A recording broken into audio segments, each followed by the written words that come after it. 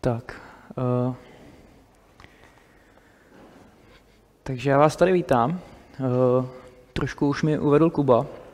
Mé jméno je Vojtěch Suk a v rámci série Drátujeme IoT vám budu povídat uh, o protokolu MQTT a, a v podstatě jeho brokeru Mosquito.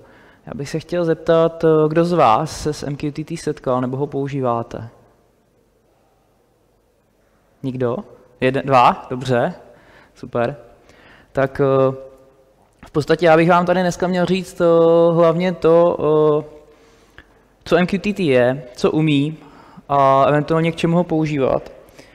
A zároveň byste se měli dozvědět, jakým způsobem si co nejjednodušší cestou nainstalovat třeba to Mosquito, abyste si s tím, abyste vlastně to MQTT mohli začít používat a hrát si s ním. Jak už řekl Kuba, jo, asi neuvidíme nic.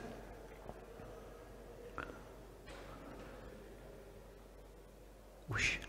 Eh, jak říkal Kuba, eh, jsem eh, z MacGyveru, z Bastírny, která sídlí na Stravských kolejích. Fungujeme tam pod klubem Silicon Hill, o tom jste tady mohli slyšet na před, předchozí přednášce, že něco k tomu. A proč vlastně drátujeme IoT?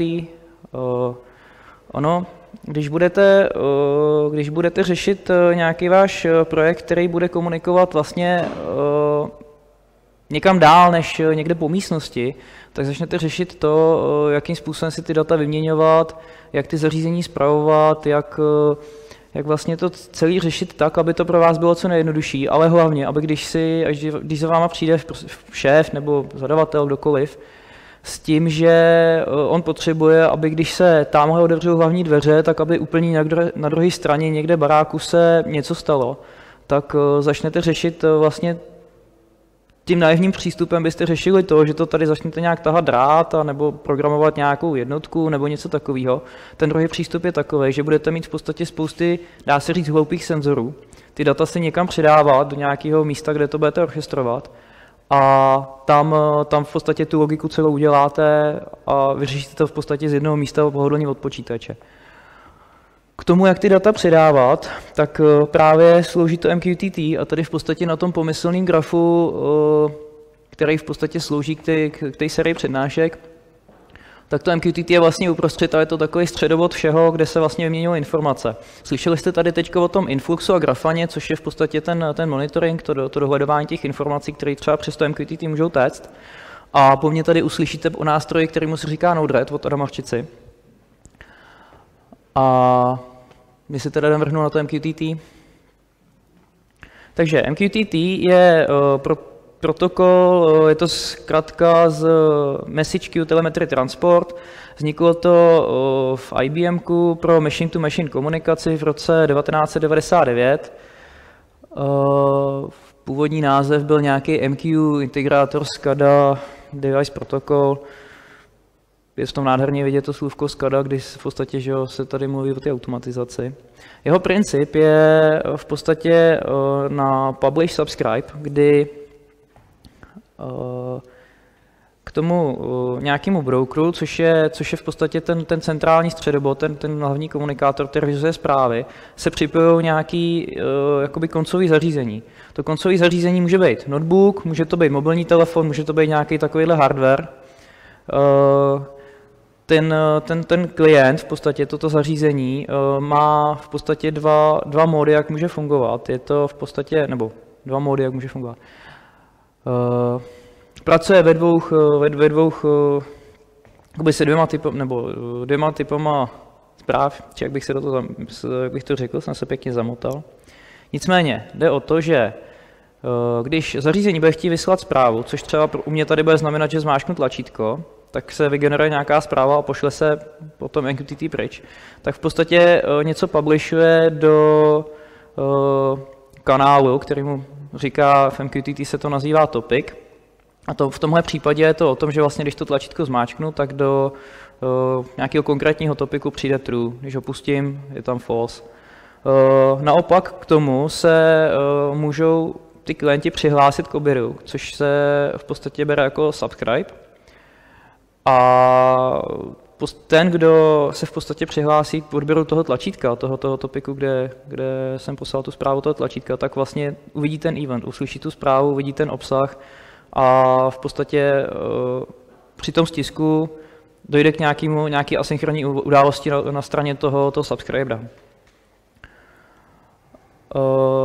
Ten broker je zodpovědný za to, že ty zprávy od těch klientů bude předávat tím, tím v podstatě subscriberům. Je zodpovědný za to, že se postará v podstatě za doručení té zprávy, je zodpovědný za přihlašování těch klientů do, v podstatě do té sítě a tak podobně. Celé je to postavené nad protokolem TCP. Dokumentace je v tom protokole nádherně napsána, že zvolili TCP hlavně z toho důvodu, že kvůli jednoduchosti protokolu samotného, aby nemuseli řešit předbíhání zpráv a podobné problémy. A využívá to výchozí port 1883, eventuálně 8883 pro TLS, je datově hodně nenáročný a je to robustní protokol, který vám dokáže zaručit doručení zprávy. Eh, co znamená to datově nenáročný? Ten protokol je hodně, hodně, hodně jednoduchý, je tam v podstatě pár, pár bajtů, co se přenáší. Eh, celý, celý ten v podstatě handshake je postavený asi na nějakých 15 typech eh, kontrolních zpráv, kdy jeden z typů je publish, druhý subscribe, pak potvrzování, ping a tak dál. Je jich tam fakt jenom pár. Eh, ten topik je v podstatě nějaká textová forma, takže fakt krátký text a zpráva samotná je taky textová. Jak už jsem říkal, je tam ten, ten control, control paket, podstatě každý ten paket, který se přenáší, obsahuje lavičku, která říká vlastně ID té zprávy a potom eh, na základě toho se vykonává nějaká událost, ať už je to připojování nebo tak podobně. Ta hlavička, hlavička se sestavuje z nějaké povinné části, která je, teď si nevybavuju, mám pocit kolem 10-12 bajtů dlouhá. A potom volitelní části, které se liší podle typu, typu té message. To je všechno k tomu protokolu. Jo. Ještě furt se nebavíme o tom, jak vlastně ty data to přenáší. Eh, ten topik eh, je hierarchicky eh, oddělený, je tam nějaká struktura oddělená lomítka, můžete si to, lomítkami, můžete si to představit třeba na adresářích, kdy vyloženě typicky máte nějaký, tady zrovna konkrétně k tomuhle nějaký device, pak je tam nějaký ID, což je typicky Macovka pro tohle, a pak tam máte třeba button, což jakoby myšlený skupina tlačítek. A pak máte AB, pak tam můžete mít uh, třeba světelný senzor, takže tam je uh, light, něco takového, lomeno ADC. Je to oddělený lomítkama, dál potom uvidíte proč. Uh, v tom, v podstatě v, tej, v tom názvosloví MQTT se tomu říká topic name. A druhá součást té zprávy je nějaký ten payload, nějaký ten obsah, ten, jak jsem říkal, je textový, je to, je to plain text a v momentě, kdy budete potřeba přenášet binární zprávy, tak je v podstatě na vás, abyste se postarali o to je zakódovat. Ono, MQTT protokol podle speci- specifikace uh, v tom payloadu uh, jakoby nemá žádné restrikce na, na, na to, jak budete tu zprávu kodovat, ale nemáte ani úplně zaručený, že ty brokeři se k tomu budou chovat správně, takže máte jako je, je lepší cesta to vzít a třeba base 64 to zakodovat. A zároveň potom v těch zprávách se přenáší něco, čemu se říká jméno klienta. Tak, k tomu topiku se podíváme díl, ještě se tedy vrátím k té zprávě. Eh, když se, bychom se podívali na to, jakým způsobem se eh, v podstatě navazuje ta komunikace s tím, eh, s tím serverem, tak když tady jako teďko zmáčknu resetovací tlačítko, tak jsem umrtvil ten procesor a v momentě, kdy ho pustím, tak ten, ta deska udělá to, že se tady začne připojovat tady k té wi a hned potom, co se jí to povede, tak se začne připojovat na server, který mám někde rozjetý s tím MQTT. A jak to vlastně probíhá? V první řadě naváže se nějaké TCP spojení a e, pošle se zpráva e, pro připojení, a v té zprávě se eh, uvádí jméno klienta a zároveň s tím se tam eh, uvádí, jestli chcete takzvanou clean session nebo ne. To je totiž o tom, že ten broker eh, nejenom, že řeší, že máte to zařízení hned, jakoby, že je aktuálně připojený, ale on si k němu drží takzvanou session. Vyloženě nějaký sezení, kdy, eh, když by to zařízení z nějakého důvodu, třeba tady odejde ten router a tak podobně, se odhlásí od sítě, aniž by tomu serveru dalo vědět, tak ten server je v podstatě zodpovědný za to, aby ty zprávy pro to zařízení dál, dál udržoval v rámci té session. A když, to, když to zařízení se potom znovu připojí k té síti, tak uh, si může říct, hele, chci tu clean session, to znamená, že všechno zahoď, začneme na novo, anebo chci navázat. A v ten moment tam rozhoduje to jméno toho klienta. To jméno toho klienta musí být pár zařízení unikátní, aby tohle mohlo fungovat. A zároveň, když chcete tu session navázat, tak samozřejmě musíte použít to jméno, které jste měli předtím. A díky tomu v podstatě máte zaručený to, že se vám doručí ty zprávy za tu dobu, co vy jste byli offline, ale zároveň se i dokončí handshake potom u nějakých vyšších typů uh, quality of service a tak podobně. O tom budeme mluvit ještě dál. Zároveň teda v tom, v tom, v tej, uh, v tom připojování může být uh, ještě autentifikace a tak podobně. Jak už jsem říkal k tomu topiku, je to nějak hierarchicky oddělený, kdy v podstatě lomítkama si zanořujete v nějakém virtuálním stromu toho, tu, tu hodnotu, kterou chcete. A potom tam máte něco, čemu se říká topic filter. A ten rozdíl je v tom, že ten topic name budete používat u publish zprávy. Typicky publish, nebo publish zprávy dává smysl akrát to, že budete posílat do jednoho konkrétního kanálu, nikdy ne nikam jako neurčitě. Ale naopak, když vy chcete subscribovat zprávy, tak si třeba chcete říct, že chcete Eh, tady mám čtyři desky, každá má nějakou svoji jinou mekovku, ale jinak jakoby ten strom mají podobný tvar. Jediný, čím se liší, je ten jejich identifikátor někde na té druhé úrovni. Tak já můžu říct přes nějaký wildcard, tady, jestli to je vidět, doufám, že ano, tady třeba to plusko, že já si řeknu devices, pak si dám lomítko plus, lomítko uh, temperature, lomítko value. A v ten moment jsem se subscribenul v podstatě ke čtyřem čtyřím topikům, kterými tam posílají tyhle ty zprávy a mě ten, eh, ten, ten klient začne zobrazovat hodnoty ze všech. Což je docela užitečný, protože nemusíte, když chcete sbírat těch data, dat víc, tak nemusíte se subscribovat ke každému extra a tak podobně. A hlavně uh, super je na tom to, že když se potřebujete podívat, co v tom topiku vlastně běží, tak si subscribnete všechno a vidíte to. Alternativou k tomu pusku, který vám řeší v podstatě uh, ten, jakoby cokoliv jenom na tom jednom, na té jedné úrovni, je potom mřížka. Ta, tu nikdy nebudete dávat někam do prostřed toho topiku, to vždycky bude na konci, protože v podstatě to, co následuje v tom názvu toho topiku za tou mřížkou, tak už jakoby se bere jako, že OK.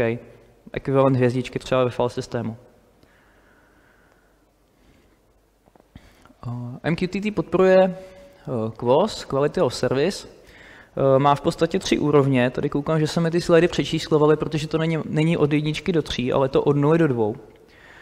Eh, přičemž ten základní způsob je nulka, kdy eh, v podstatě ten protokol zajistí akorát to, že ta zpráva bude doručená maximálně jednou, ale už vám nezaručí, že bude opravdu doručená. Ona je to naimplementovaný tak, že když pošlu zprávu s nulkovou koskou tady z toho, to zařízení, tak on tu zprávu pošle na broker, ale už neřeší odpověď od brokera, jestli se do, opravdu doručila. Jo, to už v podstatě je režie, kterou nepotřebuje, ta zpráva je jednorázová, nemusí, ne, nezajímá se o tom, jestli, jestli se doručí nebo ne. Uh, další level, ta jednička, je o tom, že ta zpráva je doručená alespoň jednou. To funguje v reálu tak, že zařízení, tady ten klient pošle zprávu na server, server ji přijme a pošle odpověď, ano, já tu zprávu mám, a může se stát, že když ta odpověď zpátky nedorazí, tak ten klient, to zařízení, po nějaké době tu zprávu pošle znova, protože nedostal tu odpověď zpátky. Tudíž někde na té protistraně u těch subscriberů ta zpráva může přijít třeba dvakrát, třikrát, víckrát. A potom ten třetí level, ty, ty, eh, ty kvosky, kvos 2, je uh, o tom, že ta zpráva je doručená právě jednou a tam už je to třeba hodně podobný, kdo znáte TCP protokol, vyloženě ten handshake tam, tak tam je to v podstatě stejně, že se pošle zpráva na server, server řekne, mám tu zprávu, nebo přijal jsem ji, posílám potvrzení, že se ji přijal, klient řekne, ano, já slyšel potvrzení, pošle to na server a server mu odpoví zpátky, že je to jakože všechno v pořádku a tím jakoby je to vyřízený. A až tímhle tím máte zaručený, že opravdu ta zpráva dorazí právě jednou a vždycky dorazí. Uh, ty, ty quos levely jsou takhle z toho důvodu, že samozřejmě ten, ten poslední má největší režii na data, na procesor, vy si musíte pamatovat identifikátor té zprávy v tom zařízení a tak podobně, nebo ne vy, ta knihovna, která to z vás nejspíš bude řešit. Takže samozřejmě je to procesorové paměťové všechno náročnější a na drtivou většinu případů vám bude stačit ta nulka. Typicky, když budete sbírat data každou vteřinu, tak to, že vám vypadnou dvě, tři vteřiny, vám úplně nevadí v takovémhle množství datech.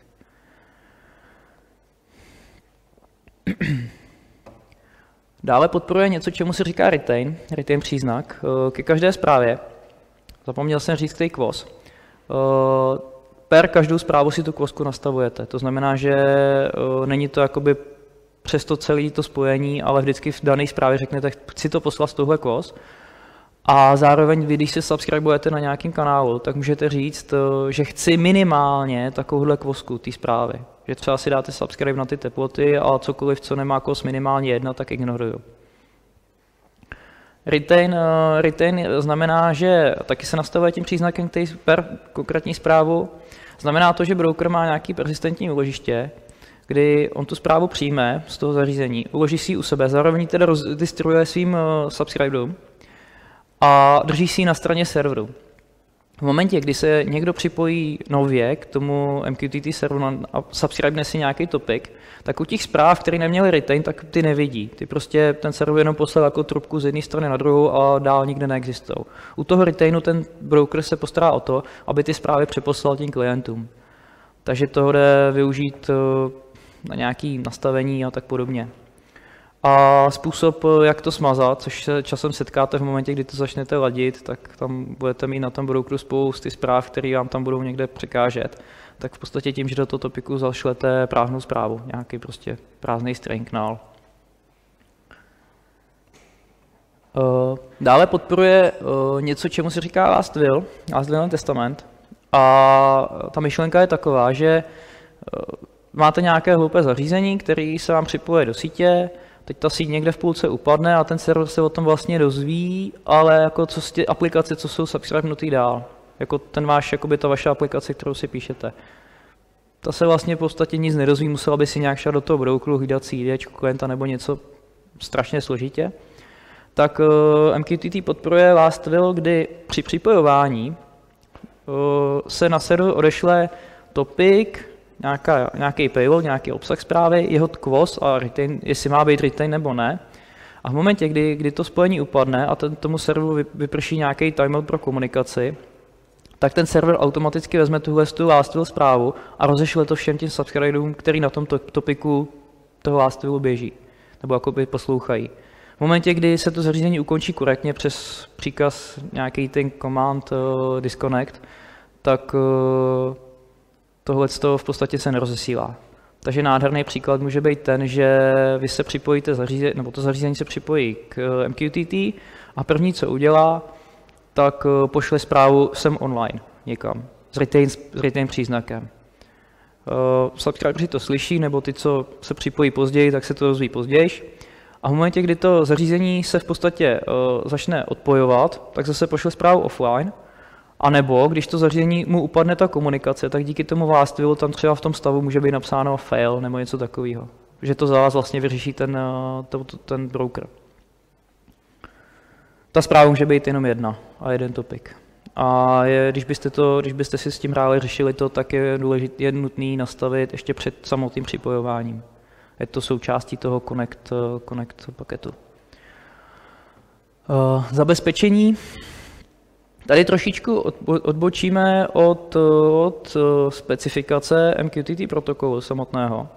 Protože eh, v podstatě, co se týče zabezpečení, tak v tom protokolu, nebo v té specifikaci je popsáno jenom eh, ty topiky, tyhle ty stavy, last will, cross a tak podobně. A co se týče zabezpečení, tak už, jenom, už se jenom, eh, jsou tam určitá doporučení, jakoby nad rámec té normy ty brokery implementují uh, standardní TLS, uh, ten protokol samotný v podstatě běží plaintextově, jste ho schopný poslouchat běžně na síti přes nástroje jako TCP a tak podobně. Samozřejmě, když potom použijete TLS, tak tohle z toho odpadá. Uh, co ten protokol řeší, tak je, tady to koukám prohozený, tak řeší autentizaci, kdy vy máte možnost v při tom přihlašování použít jméno a heslo. Samozřejmě zase plain textem, když pod tím nemáte rozjetý to, to šifrování. A potom samotnou autorizaci, samotnou autorizaci už si typicky implementují ty brokery samotný v té normě je jenom nějaký jakoby popis, že to jde. Když potom bychom se uh, jakoby u toho zabezpečení přiblížili tomu, jak, bude, jak vlastně budeme řešit dál to Mosquito, jak vám o něm budu povídat, tak to vám v podstatě dovolí uh, jednak to jméno heslo, je tam nějaký uh, access, nebo access list, je tam nějaký seznam uživatelů, který se můžou připojovat. Dovolí vám teda anonymního uživatele, můžete to zařízení třeba zrovna tyhle ty destičky, když tady je teď asi jsou napsaný, ale uh, můžete se přihlásit bez jména hesla, když to ten broker povolí, máte to tak povolený. Eh, jde se tam ověřovat u certifika, pomocí certifikátu, když používáte TLS, takže normálně klientský certifikát je podepsaný a na základě toho handshakeu TLS se rozpozná, jestli se může nebo nemůže připojit. A potom eh, na straně eh, toho serveru jdou dělat access listy, kdy můžete vyspecifikovat konkrétního uživatele ke konkrétním topikům, včetně těch wildcardů a podobných, aspoň třeba u toho Mosquita a tak podobně. Tak, tím jsme se dostali k tomu moskytu.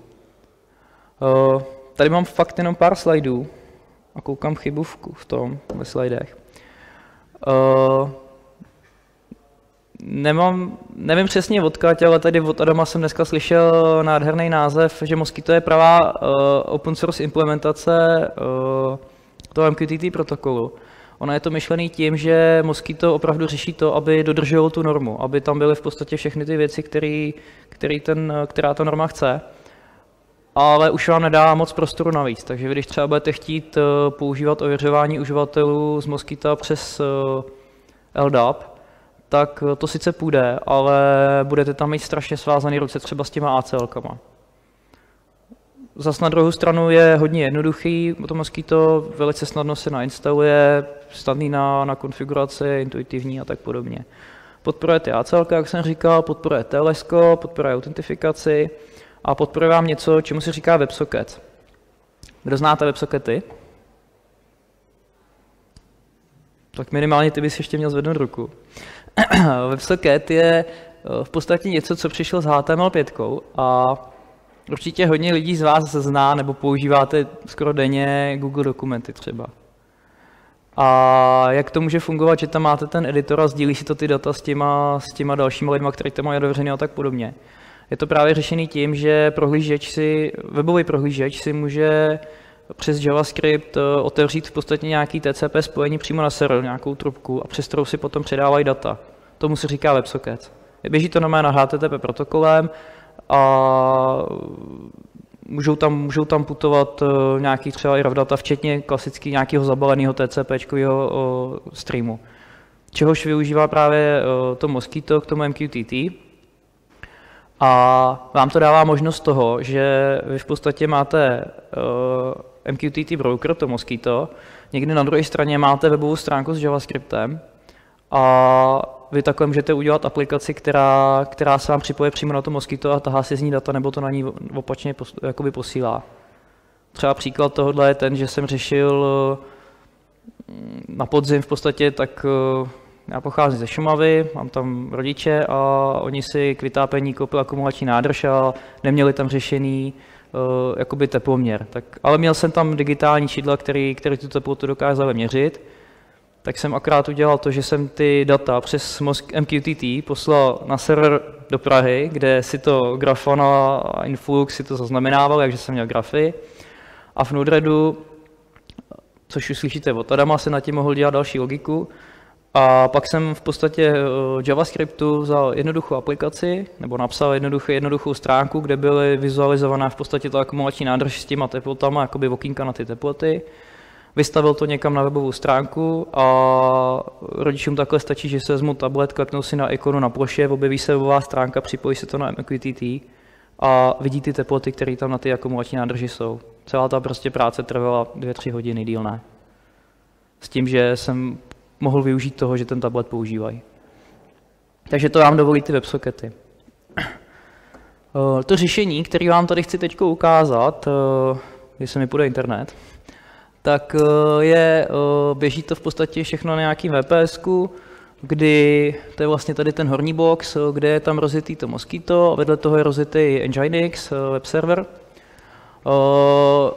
Mezi sebou mají provázaný nějaký port 9001, což je, což je právě ten WebSocketí, WebSocketí port toho Mosquita. To Mosquito přímo samo o sobě podporuje WebSockety přímo na něj bych se mohl připojit z té webové stránky. Já to mám takhle propojený přes ten Nginx z toho důvodu, že ten Nginx mi řeší SSL na, tom, na těch websocketech a můžu si v podstatě snáš řešit eh, URL adresy a podobný.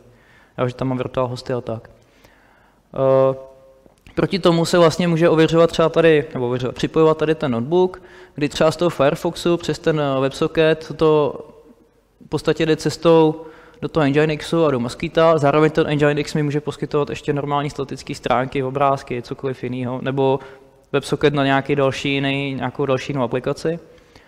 A pak uh, mám v notebooku aplikaci eh, MQTT Spy, což je jeden z možných klientů, který můžete používat, je napsaná v Javě, multiplatformní. A ta se při, to mám to vlastně připojenou přes port 8883, což je ta telesková verze toho toho MQTT protokolu. No a nebo potom SP8266, což jsou tyhle ty destičky, a ty komunikují teda nešifrovaně. Uh, jediný důvod, proč komunikují nešifrovaně, je ten, že jsme byli líní opisovat uh, otisk toho certifikátu do, do, do toho webového rozhraní z telefonu. Jo, jinak jako ta možnost tam je taky. A vyřizují mi to nějaké zprávy. Tak, a jestli se povede, tak já vám tady ukážu nějaké ukázky. Uh, asi hodně, hodně si budeme ukazovat eh, v nástroji, který se jmenuje MQTT Wall. To psal tady Adam, je to dostupný na našem GitHubu, když, by, když byste tu aplikaci chtěli používat. A v podstatě tahle apka uh, se přes WebSockets uh, připojuje k uh, nějakému MQTT brokeru a zobrazuje název to, jakoby daný topik a k němu potom poslední přijatou zprávu. Tady máte vidět vždycky to červené flag, že to šlo o retain zprávu. A jednou za čas se tady stane, že tady občas nějaká hodnota problikne žlutě. Já tady zkusím, nebo žlutě, modře. Uh, která je tohle deska? C třeba tady, kde pak máme C. Jo. Tady je vidět, jak problikává ta, ta hodnota, jak mačkám tlačítko. Uh, to, že se to takhle seká, v podstatě není, není způsobený protokolem, ale to tou Wi-Fi. No. Jo, ta odezva toho je v řádu maximálně stovek milisekund běžně. Tady je vidět v podstatě ty, ty, ty device, které můžete používat a jak už jsem říkal, můžete tady ukázat třeba ty, ty uh, wildcardy, kde já si třeba budu chtít říct, že chci vidět devices, uh, v podstatě všechny, jsem si tady klepnul blbě,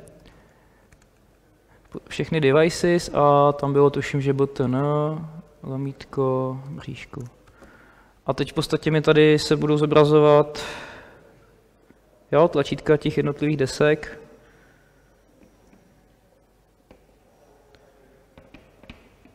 Vidět, že prostě tím, tím wildcardem se si nádherně mohl vyfiltrovat uh, ty jednotlivý, ty jednotlivý zařízení na, na jeden jediný subscribe, jakoby jeden jediný topic.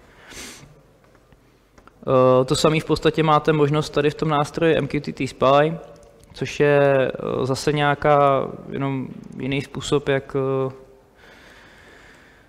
jak tím datům přistupovat.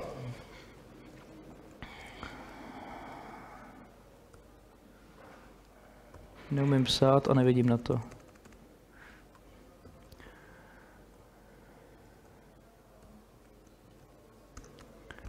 Tak a teď jsem si zase subscribenul ty tlačítka tady akorát. Výhoda je ta, že uh, v tom, v tom MQTT Wall, té webové verzi, nemáme uh, možnost odesílání, ne v současné verzi, kdežto to MQTT Spy to odesílání implementovaný má, takže já můžu rovnou třeba udělat devices, test, hmm, button, a tady dáme, já nevím, test tím vlastně odešlu zprávu, která mi dorazí, jo, je tady vidět, že přišla a zároveň s tím ji tady už vidím i v tom, i v tom uh, wall. Kdybych měl aplikaci mobilní, tak můžu třeba z mobilní apky taky takové data poslat. Uh, to MQT, uh, MQTT, uh, nebo respektive Mosquito má uh, Linuxové nástroje, nebo je to Linuxový soft, uh, existují k němu Linuxové nástroje, půjde to zvětšit. Zkusíme tady zvětšit konzoli. Jestli to najdu.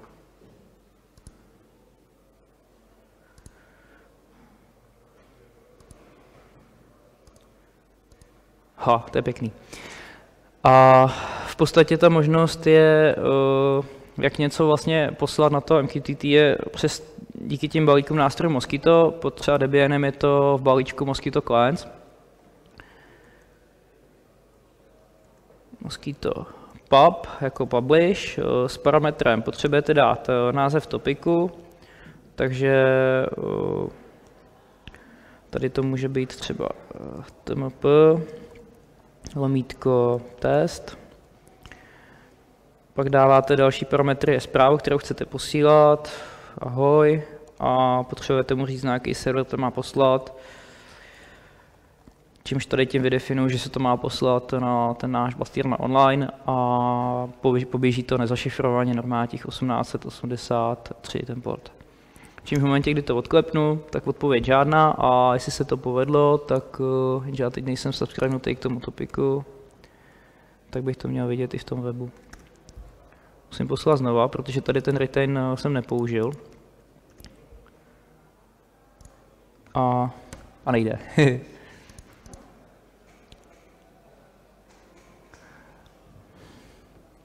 je to, možná je to docela dobrý příklad, protože Uh, hovořil jsem tu o ACLkách, access listy, hovořil jsem tu o anonymním připojení a hovořil jsem tu o uživatelích. Já když eh, se připoju z toho uh, webu tady, tak v podstatě v té webové stránce, když bych si tady někde dal zobrazit zdrojový kód, tak je tu vidět URL adresa, ale nepoužívám tu žádný username ani password.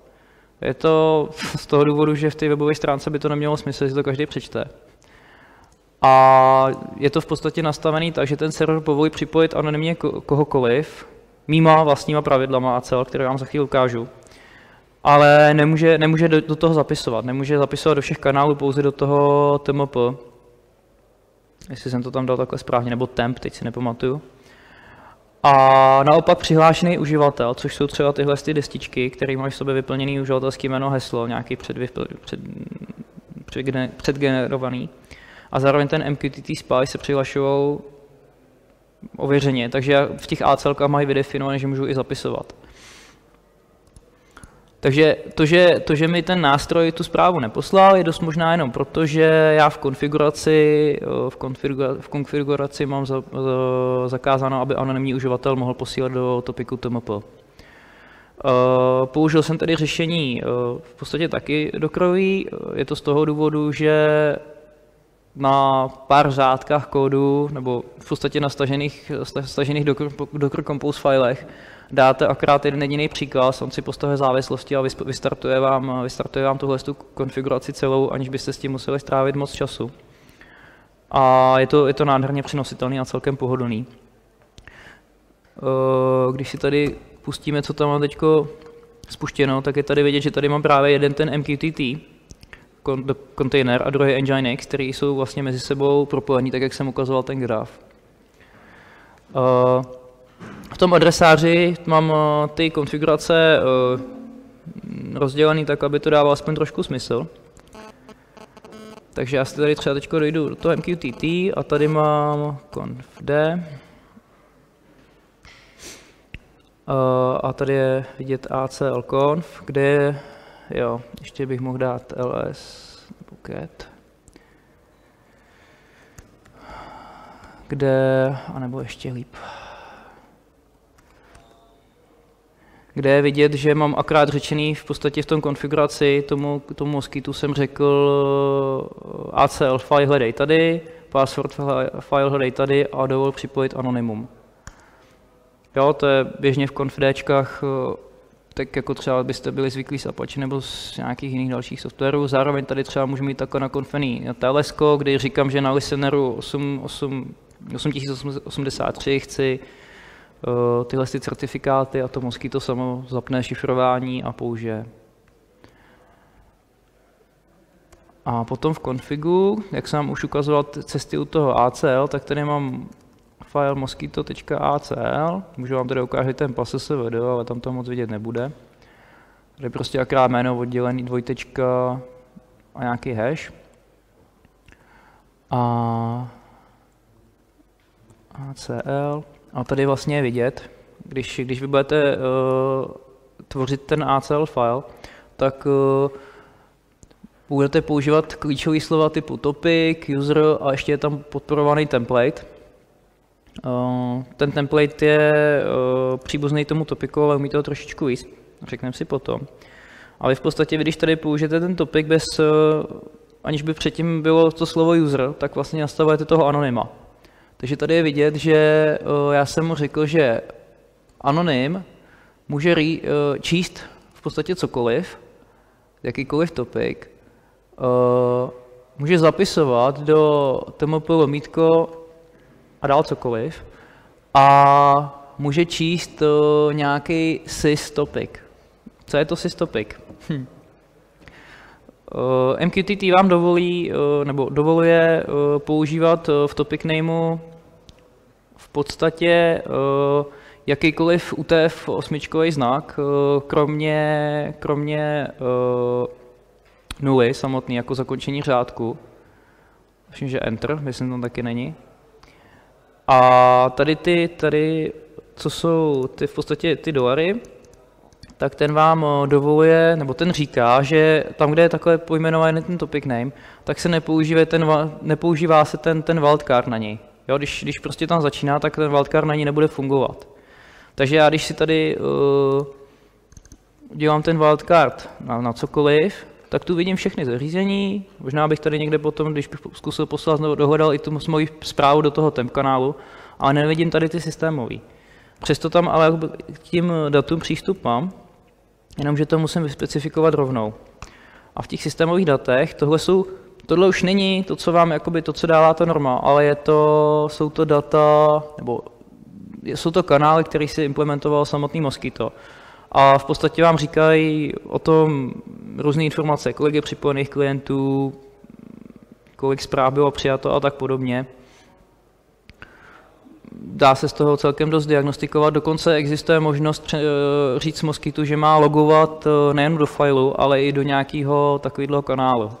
Takže potom v podstatě systémový logy vy si můžete subscribenout jako jakoukoliv jinou zprávu. Zpět k ACL.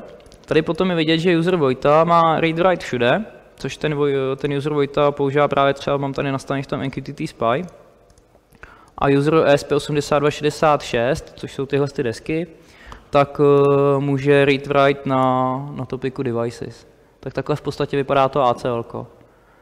Eh, vy když budete přidávat nebo odebírat uživatele, tak eh, si toto Mosquito vezme zaživa, nemusíte restartovat nic. Ale když budete měnit tyhle ty ACL, tak tam už musíte, tam už musíte ten server otáčet, aby si to reloadnul. Říkal jsem tady ještě něco o nějakých templatech. To je totiž o tom, že Ono by úplně nedávalo smysl, aby si dokázal vzít konfiguraci uživatelů a hesel zaživa, když to nedokáže udělat s těma ACLkama. Ale vy máte možnost toho, že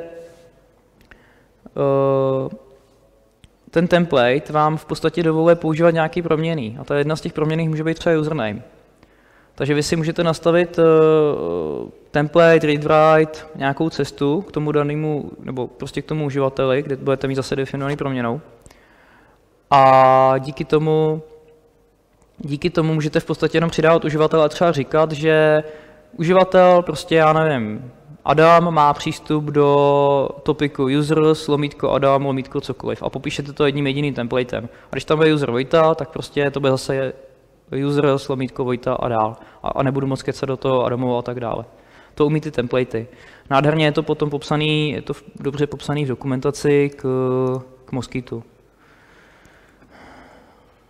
Normálně mám stránky manuálový. Jo, to bude ještě v tom. Uh, Mosquito. Když půjdete na do manuálových stránek, tak, tak to bude popsat, tak si to tam najdete. Včetně těch, eh, co znamená i který topiky a tak dále. Ta dokumentace je celkem pěkná. Tak.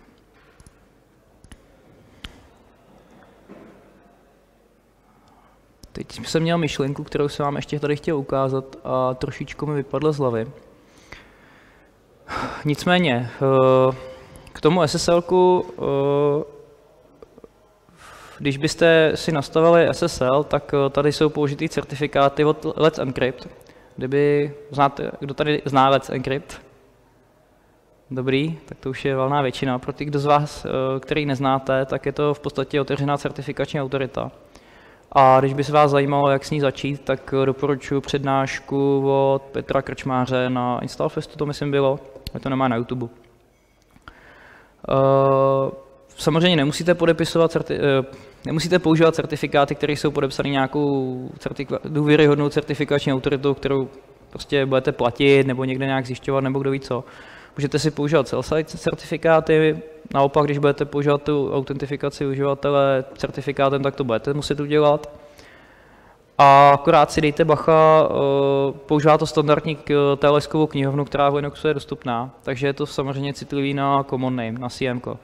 Když, když vy vystavíte certifikát, který budete mít na bastírna.online a budete, budete z toho klienta přistupovat přes IPku, tak to nebude fungovat a bude to házet dost zajímavé chyby, které vám toho moc říkat nebudou. Takže když vy si do toho common name v certifikátu vydefinujete nějaký doménový jméno, tak potom ty klienti ho musí používat taky. Tak, aby se správně navázal ten handshake toho TLS. Tím se už tím se dá docela dobře natrápit, když to, jakoby na tohle to člověk nepamatuje. Další věc, eh, co jste tady vlastně viděli, jak jsem používal ten eh, Mosquito Pub, tak eh, on tu zprávu odeslal a nic se nestalo. Nikam nepřišla. Proč? chyba nebo tak. Ona je to totiž o tom, že ty ACL, když vám neprojdou, když, když v podstatě nesplníte tu, tu, tu entry na to, abyste tu zprávu mohli odeslat, tak vám to nenahlásí chybu. To, ne, to není, to není jakoby závada, takhle to vyloženě nadizajnovaný, takhle to schválně. On prostě tu zprávu vezme a ignoruje ji. Jo, nedávám vědět zpátky do toho, do toho publishera o tom, že tu zprávu nedokázal doručit. Prostě ji zahodí. Takže toho se taky nelekejte a většinou, když vy budete chtít poslat nějakou zprávu a ona nebude, nebude nikam docházet, tak je to právě z toho důvodu, že, že, že máte blbě nastavený ACL. Uh, schválně si tady zkusíme tohle.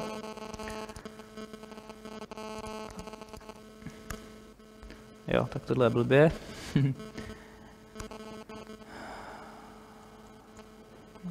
pop, topic, and test.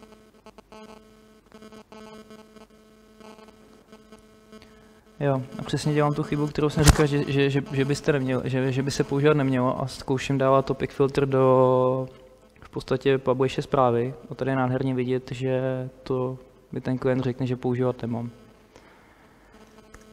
Tak, tohle se povedlo. A já jsem zase nebyl nikde subscribenutý. Takže to zkusíme znova. A jo, zprávu jsem při, přijal.